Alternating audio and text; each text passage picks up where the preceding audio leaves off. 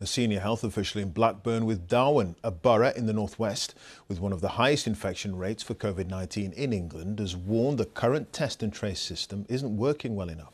It comes as Scottish authorities are investigating whether workers at an NHS test and trace facility in North Lanarkshire have themselves become infected with coronavirus. Here's our health editor, Hugh Pym.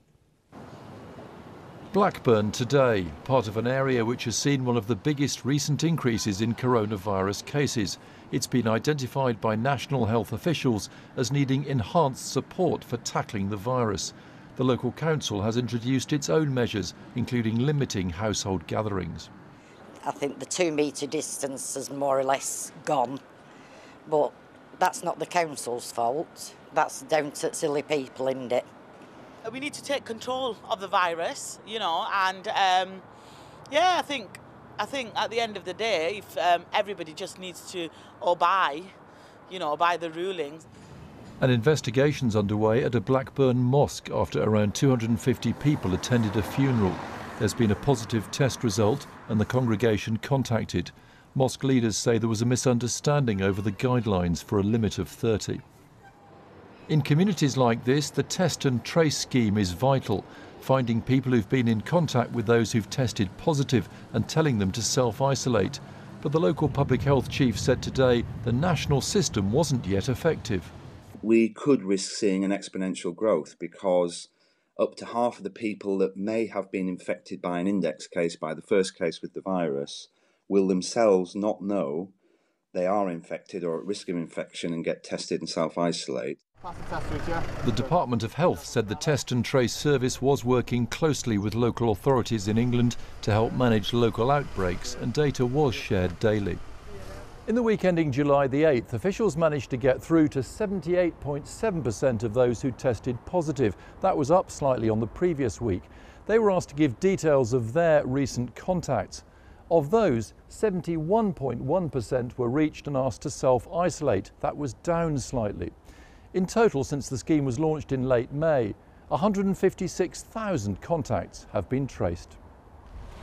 Speeding up test results and getting to more contacts is seen as crucial as winter approaches. Experts say this is especially important in places where infections are seen to be on the increase there has to be very large uh, testing uh, in those areas uh, with tracing to, to be able to, to keep the epidemic uh, under control. Uh, and certainly, I think that's where that, uh, if you like, rise in the ability of us to test and the number of tests is incredibly important.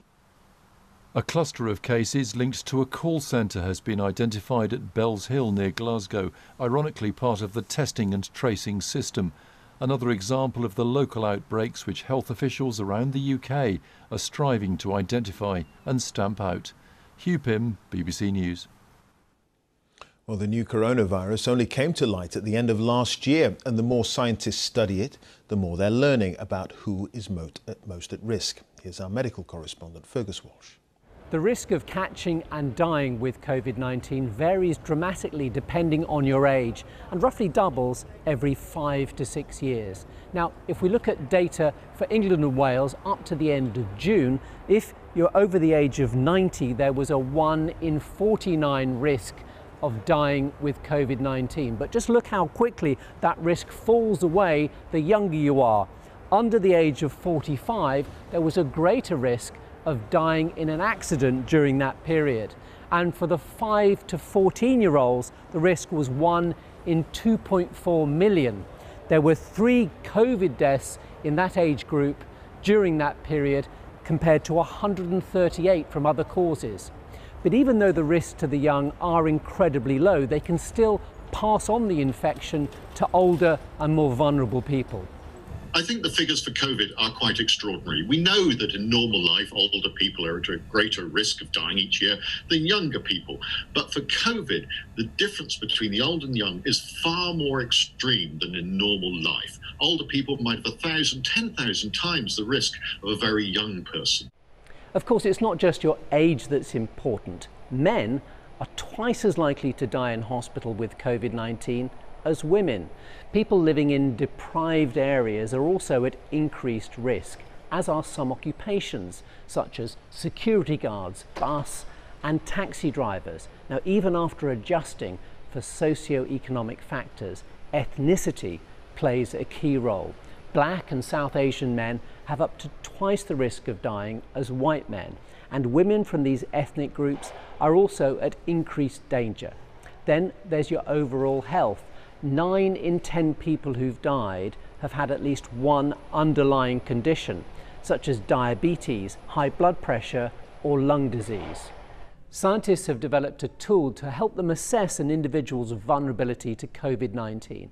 Take Peter, he's a 63 year old white man. Now, his body mass index of 37 adds five years to his COVID age, but it's his type 2 diabetes that has the biggest impact, adding eight years, giving him an overall COVID age of 76, which places him in a more vulnerable age group.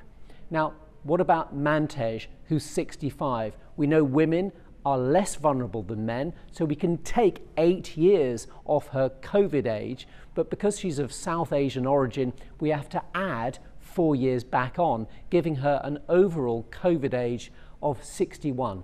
Now, it's not possible to give a completely personalised risk, but it's clear that sex, ethnicity, age, and overall health are key factors. Fergus Walsh, our medical correspondent, reporting there.